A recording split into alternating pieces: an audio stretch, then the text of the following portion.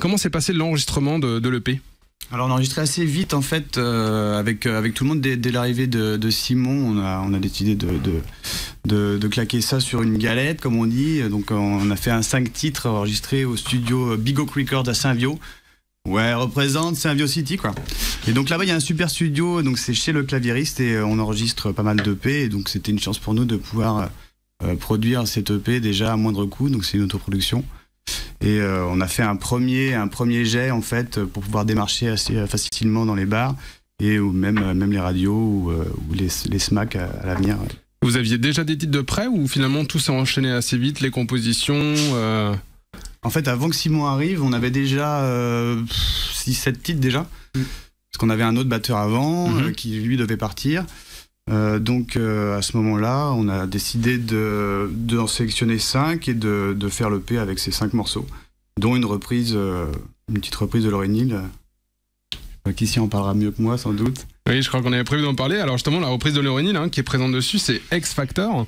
Euh, je crois que c'était un petit peu euh, responsable sur ce coup-là, euh, Kissia. Est-ce que tu peux nous en dire deux mots? Bah complètement. En fait, euh, je suis grande fan et puis euh, je me dis que si ça peut lui permettre de payer ses impôts, euh, voilà, c'est toujours ça de prix. Non, non, euh, grande fan et puis effectivement, euh, euh, quand, quand j'ai proposé le titre, euh, la ligne au clavier m'a tout de suite euh, tapé dans l'oreille, quoi. Et du coup, on l'a, je trouve qu'on l'a vraiment. euh, après, tu en t'en parleras mieux que moi aussi. Tout le monde se file le bébé. Mais euh, du coup, je trouve que ouais, on l'a vraiment ramené dans notre univers et euh, sans prétention aucune. Mais euh, voilà, je trouvais ça hyper intéressant. Alors justement, est-ce que tu as eu l'occasion, elle est venue euh, justement à l'Atlantique euh, cet été, Je sais. à Corsay, euh, au, sais.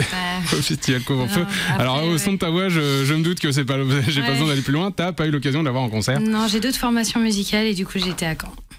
Donc voilà. Bon, et ben on va passer à autre chose, hein, parce que Merci, c'est- merci, c'est- Paul. c'est point le Paul. point. Non, mais il est sympa, il est sympa. je suis désolé, Kisha, vraiment. merci, ça, ça ne se reproduira plus. Ah, mais j'ai bien fait de venir. Alors justement, rappelons un peu sur le processus de création. Alors je crois que c'est toi qui écris les textes, euh, Kissia, et les garçons se, se chargent de toute la partie euh, composition des, des morceaux. C'est c'est toujours comme ça que ça se passe ou euh, vous donnez aussi votre avis des fois en cours de composition euh, des Alors, parties des euh, uns et des autres? Pour deux morceaux euh, qui s'appellent euh, Maybe et euh, Billy Chase, on a fait appel. Enfin, j'avais besoin d'un vraiment d'aide. Du coup, j'ai demandé à Carl W. Davis D'accord. de, de l'aide et il nous a écrit deux magnifiques textes. Et effectivement, voilà, c'est chouette quand on fait de la soul funk. On peut parler de plein de trucs un peu plan-plan si on les traduit en français, mais ça passe très bien en anglais. Donc voilà. Et ça passe très bien au son, au son de ta voix justement. Et euh, alors quelles, quelles sont les, les pistes maintenant pour le groupe? Alors on se doute vous êtes peut-être dans la préparation du, du premier album. Alors avant le premier album déjà, on, évidemment, enfin je sais pas si on peut en parler maintenant, mais Vas-y, vas-y. on, on joue euh, évidemment demain à Tissé Métis. Tout à Et fait. donc, euh, on avait déjà un set de bar qui tournait, qui tournait pas mal, mais là, on a vraiment voulu faire un spectacle pour cette occasion de Tissé Métis, proposer un, vrai spectacle. Donc, euh, il y aura beaucoup de surprises demain.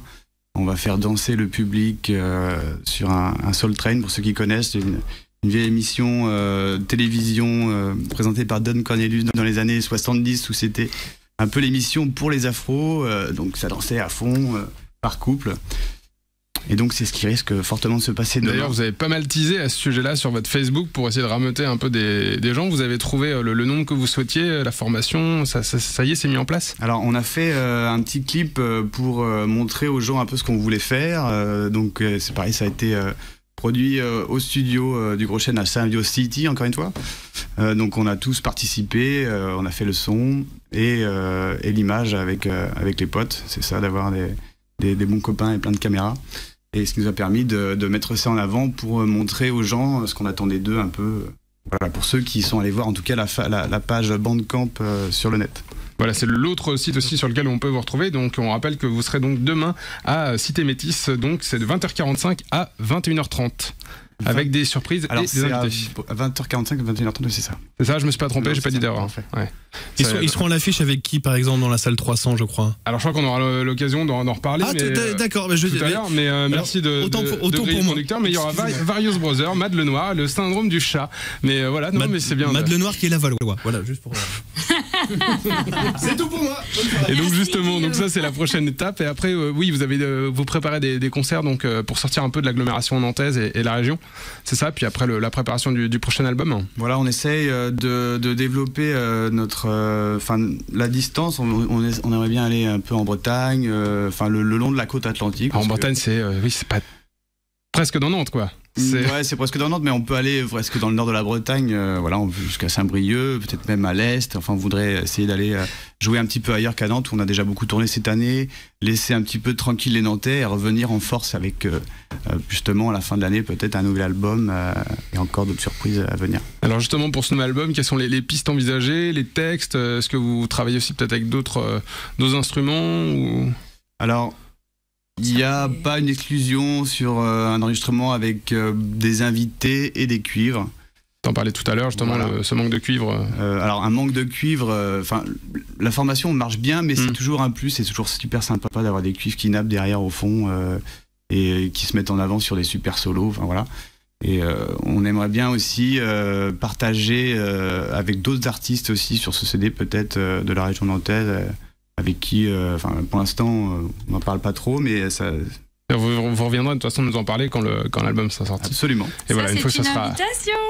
exactement. Et il y en aura d'autres des invitations. Et Oh, c'est bizarre ça. merci de toutes tes réactions Guillaume. Je, sens que mon retard de la semaine dernière se, se fait encore sentir. Un Et petit je- peu, légèrement. Justement, dans- en termes de reprise, est-ce qu'il y a aussi d'autres choses que vous avez été chercher euh, on, a parlé de Laurine tout à l'heure. Est-ce qu'il y a d'autres artistes comme ça? Est-ce que vous avez tous une formation musicale euh, On, on l'a pas encore dit, mais euh, vous avez tous une formation musicale de base. Est-ce que ça aussi, ça vous a construit dans le groupe, dans le fait d'aller chercher des sons et des influences différentes? Euh, formation musicale euh, de base, on est plus ou moins autodidacte en fait. Enfin, moi pour ma part, je suis à moitié autodidacte. Euh, et puis du coup, euh, du coup, on a, on a, euh, on a rassemblé tous ces styles effectivement en fonction des euh, différents apprentissages et et puis des, des, des, des écoutes, des playlists et tout ça quoi. Et vous avez trouvé justement des influences comme ça auprès de, de tout le monde. Alors vous êtes venus chacun avec vos goûts, vos inspirations. Mm. Et il y, a- il y a aussi des, des goûts qui vous ont rassemblé, des artistes où vous vous êtes dit, euh, peut-être pour des reprises aussi, où ça a matché auprès de tout le monde. Pour les reprises, ça a été euh, un peu des coups de poker. Enfin, euh, du coup, euh, euh, on s'était dit que euh, il fallait qu'on mette notre patte vraiment sur les reprises. Et Mhm. si on n'arrivait pas à mettre notre patte, on, on la laissait de côté. Bon, ben, On en a, euh, ouais. Du coup, on en a quelques-unes dans le set, euh, très peu, trois ou trois, je crois. Ouais, trois. Et euh, donc voilà. Bon, bah justement, on va avoir l'occasion d'écouter ça euh, euh, tout de suite maintenant sur les antennes de Sun avec une, euh, donc, un titre qui s'appelle Come Together, qui est une reprise, Guillaume, de Je t'écoute. Son- que- les Beatles, non? Oui, c'est pas des Lavallois, eux. Non, non, non, ça aurait pu, ça aurait pu. La Non, classe, ça aurait pas pu, Avec non. la classe qu'ils avaient, ils auraient pu même être de Château-Gontier. ça aurait c'eût été euh, possible. On vous rappelle bien sûr que les vidéos seront à retrouver très vite sur le www.lesonunique.com. Est-ce qu'ils sont prêts? Ils mettent leur casque. Attention, c'est parti. Motion avec Come Together.